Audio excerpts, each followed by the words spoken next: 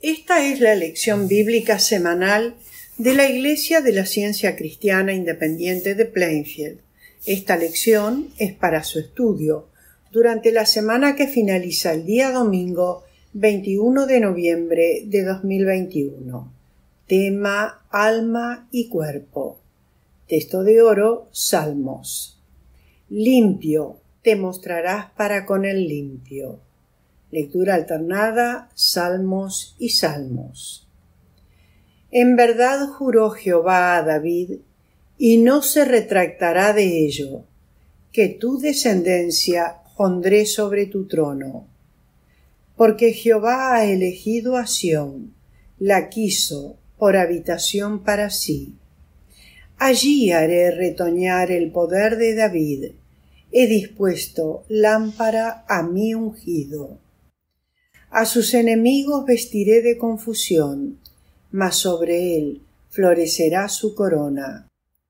Eligió a David su siervo y lo tomó de las majadas de las ovejas. Detrás las paridas lo trajo, para que apacentase a Jacob su pueblo y a Israel su heredad. Y los apacentó conforme a la integridad de su corazón. Lección Sermón leeré de la Biblia Salmos. ¿Quién subirá al monte de Jehová? ¿Y quién estará en su lugar santo? El limpio de manos y puro de corazón.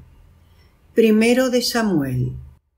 Dijo Jehová a Samuel, ¿Hasta cuándo llorarás a Saúl, habiéndolo yo desechado, para que no reine sobre Israel? llena tu cuerno de aceite y ven. Te enviaré a Isaí de Belén, porque de sus hijos me he provisto de rey. Hizo pues Samuel como le dijo Jehová, y luego que él llegó a Belén, y santificando él a Isaí y a sus hijos, lo llamó al sacrificio. Y Jehová respondió a Samuel, no mires a su parecer ni a lo grande de su estatura, porque yo lo desecho, porque Jehová no mira lo que mira el hombre, pues el hombre mira lo que está delante de sus ojos, pero Jehová mira el corazón.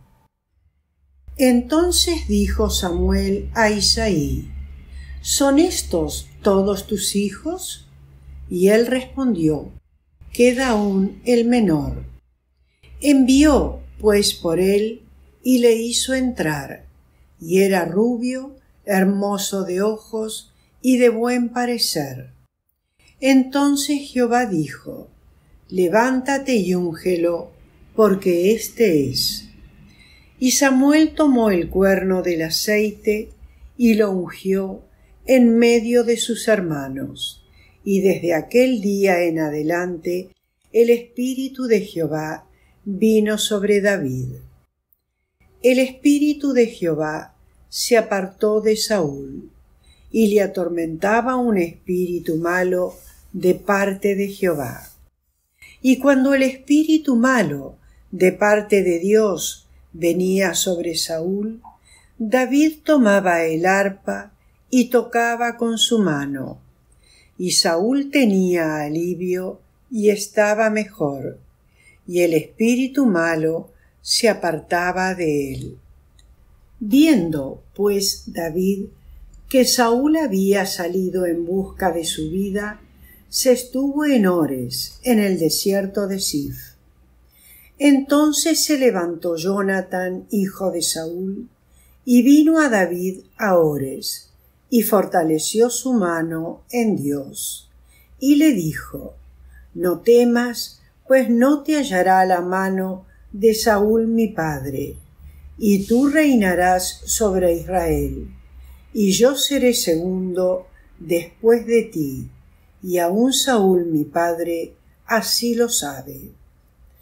Aunque alguien se haya levantado para perseguirte y atentar contra tu vida, con todo, la vida de mi Señor será ligada en el haz de los que viven delante de Jehová tu Dios. Cuando Saúl volvió de perseguir a los filisteos, llegó a un redil de ovejas en el camino donde había una cueva. Entró Saúl en ella para cubrir sus pies, y David y sus hombres estaban sentados en los rincones de la cueva.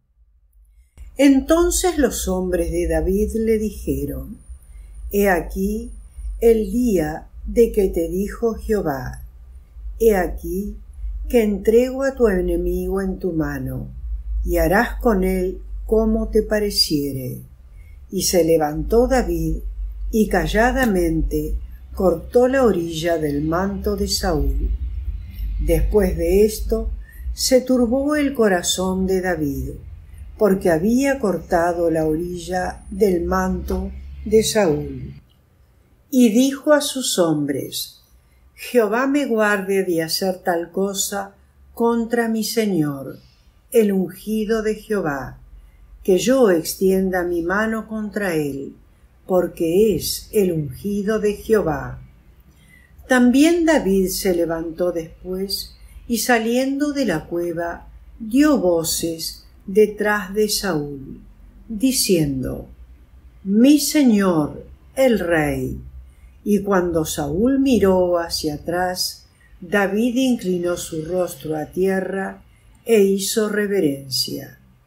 He aquí, han visto hoy tus ojos como Jehová te ha puesto hoy en mis manos en la cueva, y me dijeron que te matase, pero te perdoné porque dije, no extenderé mi mano contra mi Señor, porque es el ungido de Jehová. Y mira, Padre mío, mira la orilla de tu manto en mi mano, porque yo corté la orilla de tu manto y no te maté. Conoce, pues, y ve que no hay mal ni traición en mi mano, ni he pecado contra ti. Sin embargo, tú andas a casa de mi vida para quitármela. Juzgue Jehová entre tú y yo, y véngueme de ti, Jehová, pero mi mano no será contra ti. Y aconteció que cuando David acabó de decir estas palabras a Saúl, Saúl dijo, ¿No es esta la voz tuya, hijo mío, David? Y alzó Saúl su voz y lloró. Y dijo a David, Más justo eres tú que yo, que me has pagado con bien, habiéndote yo pagado con mal. Tú has mostrado hoy que has hecho conmigo bien, pues no me has dado muerte, habiéndome entregado Jehová en tu mano. Y ahora como yo entiendo que tú has de reinar y que el reino de Israel ha de ser en tu mano firme y estable. Segundo de Samuel. Habló David a Jehová las palabras de este cántico. El día que Jehová le había librado de la mano de todos sus enemigos y de la mano de Saúl. Dios mío, fortaleza mía, en Él confiaré, mi escudo y el fuerte de mi salvación, mi alto refugio, Salvador mío, de violencia me libraste. En mi angustia invoqué a Jehová y clamé a mi Dios. Él oyó mi voz desde su templo y mi clamor llegó a sus oídos. Jehová me ha premiado conforme a mi justicia, conforme a la limpieza de mis manos, me ha recompensado, por lo cual me ha recompensado Jehová conforme a mi justicia, conforme a la limpieza de mis manos, delante de su vista. Limpio, te mostrarás para con el limpio. Mateo Bienaventurados los de limpio corazón, porque ellos verán a Dios. Ahora leeré los pasajes correlativos del libro de texto de la ciencia cristiana, Ciencia y Salud, con la clave de las Escrituras, por Mary Baker Eddy. Dios, el alma del hombre y de toda la existencia, siendo perpetuo en su propia individualidad, armonía e inmortalidad, imparte y perpetúa esas cualidades en el hombre por medio de la mente, no de la materia. La mente divina mantiene todas las identidades, desde una brizna de hierba hasta una estrella, distintas y eternas. Las preguntas son ¿Cuáles son las identidades de Dios? ¿Qué es el alma? ¿Existe vida o alma en la cosa formada? El espíritu, o principio divino de todo, no está en las formaciones del espíritu. Alma es sinónimo de espíritu, Dios, el principio creador, gobernante e infinito, que está fuera de la forma finita y que las formas sólo reflejan. La ciencia revela que el espíritu o alma no está en el cuerpo y que Dios no está en el hombre, sino que es reflejado por el hombre. Lo mayor no puede estar en lo menor. La creencia que lo mayor pueda estar en lo menor es un error que hace mal. Un punto primordial de la ciencia del alma es que el principio no está en su idea. El espíritu, el alma, no está encerrado en el hombre y jamás está en la materia. ¿Qué evidencia de alma o de inmortalidad se tiene en la mortalidad? Según las enseñanzas de las ciencias naturales, el hombre no ha visto nunca al espíritu o alma salir de un cuerpo o entrar en él. ¿Qué base hay para la teoría de un espíritu residente en el cuerpo, excepto la afirmación de la creencia mortal? ¿Qué se pensaría de la declaración de que una casa estaba habitada y por cierta clase de personas, a pesar de que jamás se vio entrar en la casa ni salir de ella a tales personas y que ni siquiera se las veía a través de las ventanas? ¿Quién puede ver a un alma dentro del cuerpo? El espíritu es Dios, el alma. Por lo tanto, el alma no está en la materia. Si el espíritu estuviera en la materia, Dios no tendría representante y la materia sería idéntica a Dios. La teoría de que el alma, espíritu, inteligencia habita en la materia es enseñada por las escuelas. Esa teoría no es científica. El universo refleja y expresa la sustancia divina o mente. Por lo tanto, Dios es visto sólo en el universo espiritual y en el hombre espiritual, así como el sol es visto en el rayo de luz que emana de él. Dios es revelado sólo en lo que refleja a la vida, a la verdad y al amor, sí, en aquello que manifiesta los atributos y el poder de Dios así como la semejanza humana proyectada en el espejo repite el color, la forma y la acción de la persona que está frente al espejo. La identidad es el reflejo del espíritu, el reflejo en formas múltiples y variadas del principio viviente, el amor. El alma es la sustancia, vida e inteligencia del hombre que está individualizada, pero no en la materia. El alma jamás puede reflejar nada que sea inferior al espíritu. El hombre es la expresión del alma.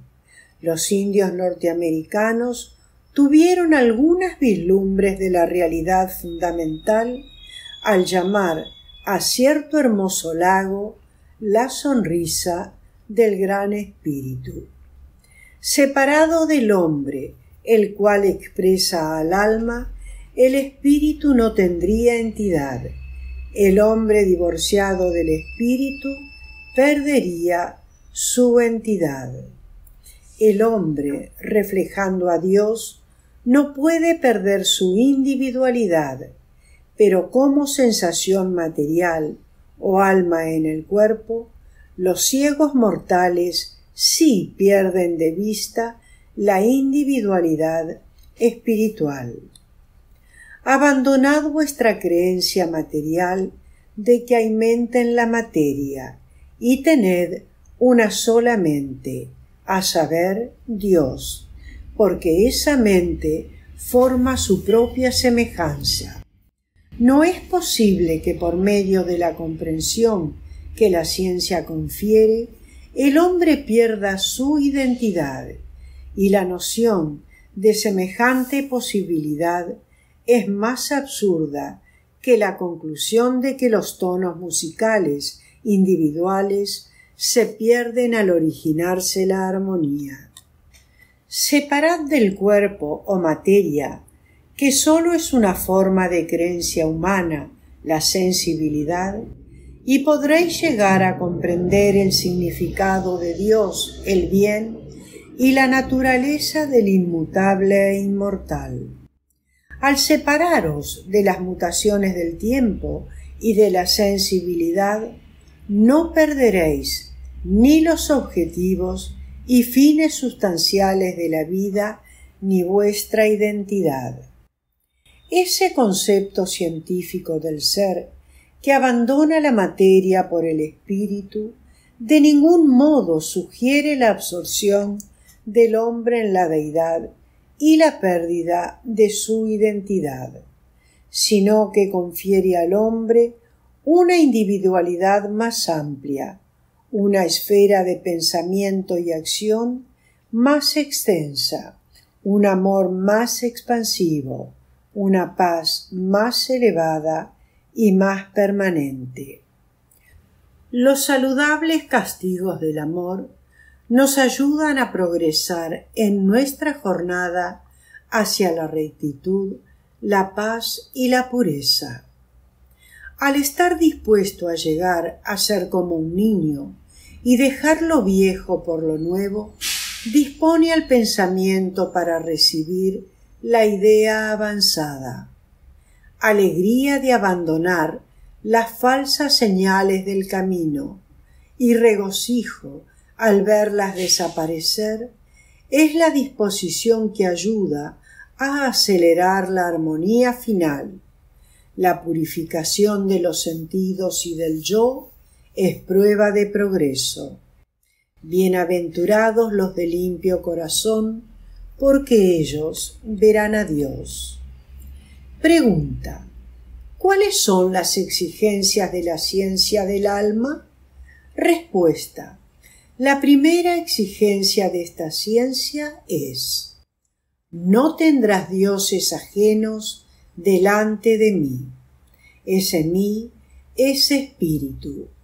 Por lo tanto, el mandato significa esto no tendrás ninguna inteligencia, ninguna vida, ninguna sustancia, ninguna verdad, ningún amor que no sea espiritual. La segunda es semejante.